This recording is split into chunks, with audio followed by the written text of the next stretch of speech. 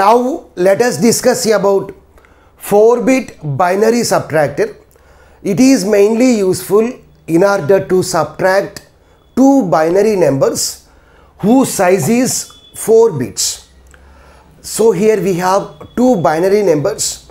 The first binary number is represented by A which contains 4 bits such as A3, A2, A1, A0 where A3 is the most significant bit, A0 is the least significant bit.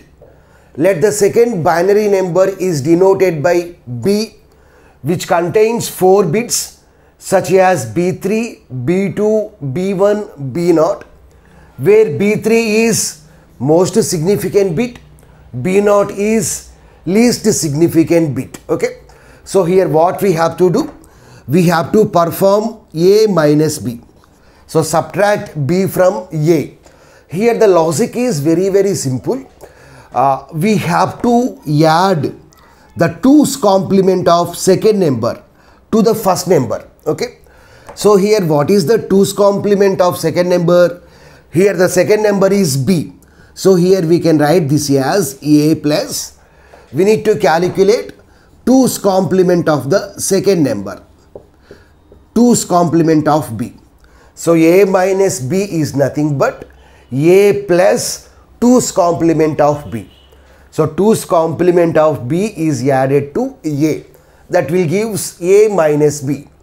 We know how to calculate 2's complement of a number. So 2's complement of a number equal to 1's complement plus 1.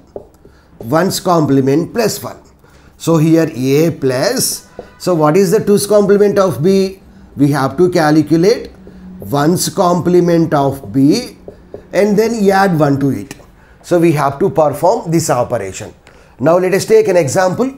Let A is equal to, let A equal to 6. Let B equal to 2. So now we have to perform A minus B, 6 minus 2. So represent 6 in binary notation. So how to represent 6 in binary notation? Simply we have to use 8421 notation. So 0, double 1, 0. 0, double 1, 0. So now here what is the second number? Uh, what is the second number? 2. So now we have to calculate 2's complement of 2. How we can represent 2 in binary notation? 2 in binary notation is 0, 0, 1, 0. 0, 0, 1, 0. Now we have to calculate 2's complement of 0, 0, 1, 0. So for that first we have to calculate 1's complement of 0, 0, 1, 0. So 1's complement means zeros are changed to 1's, 1's are changed to zeros. So this 0 will be changed to 1, second 0 is changed to 1, 1 will be changed to 0, this 0 will be changed to 1. So 1, 1, 0, 1 is nothing but 1's complement of 0, 0, 1, 0. But here we have to we have to calculate 2's complement. So for 2's complement we have to add 1 to the 1's complement. So you add 1 to it. So 1 plus 1, 0 with a carry 1. 0 plus 1, 1, 1, 1. So here the 2's complement of 2 is triple 1, 0. Triple 1, 0. So we have to add uh, 2's complement of B to the A. Okay. So 0 plus 0, 0. Simply we are performing addition operation only. So 1 plus 1, 0 with a carry 1. So triple 1 means 1, 1. 1 plus 1 means 0 with a carry 1. Here if we get the carry then it specifies that it is a positive number. So we need to neglect that carry. So neglect this carry. So here what is the result? 0, 1, double 0. So 0, 1, double 0 in decimal notation is 4. So 6 minus 2 is nothing but 4. So now we have to perform this operation with the help of logic circuit. Okay. Uh, here we have taken 4 fully adders.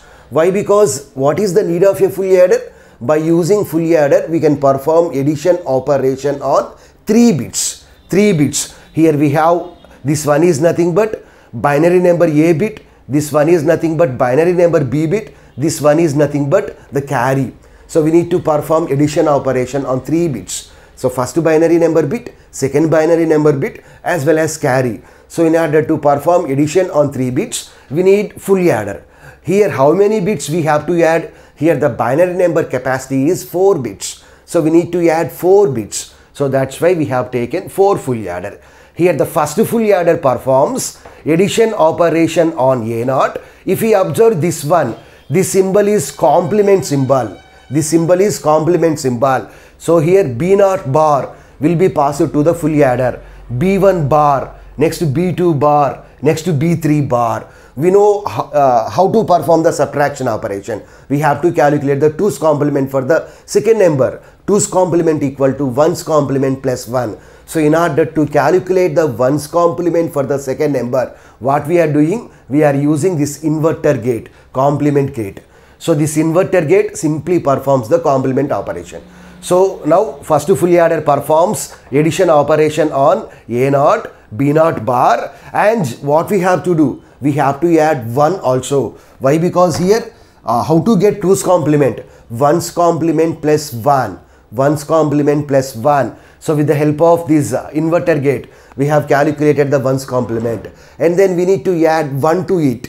We need to add 1 to it. So in order to add 1 to it, uh, we have to take input carry to the first full adder as we need to pass input carry to the first full adder that is C naught as 1. So first full adder performs addition operation on A naught, B naught and C naught.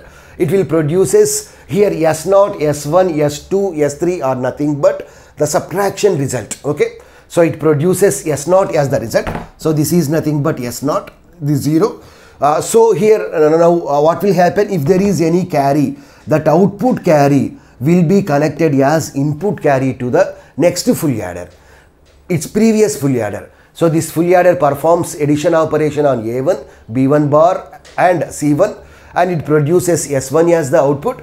And if there is any output carry that output carry is denoted by C2 that C2 will be connected as input carry to the its previous full adder okay? So the uh, next what is the last one?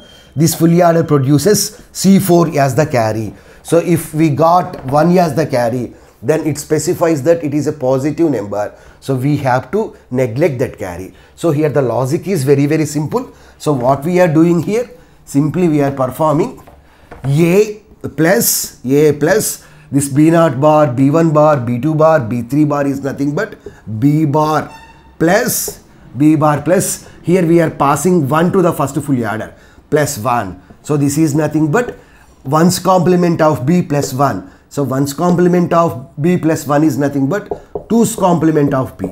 So 2's complement of b. So this is nothing but a minus b. So in order to do in order to do a minus b what we are doing? We are adding 2's complement of b to the first number. How to calculate 2's complement? b bar b bar and uh, 2's complement means we have to add 1 to the 1's complement 1's complement of the number so that's why here we have passed this one so c naught c1 c2 c3 c4 are nothing but carries okay whereas the output is nothing but s3 s2 s1 s naught where s3 is the most significant bit s naught is nothing but least significant bit. So this is about 4 bit binary subtractor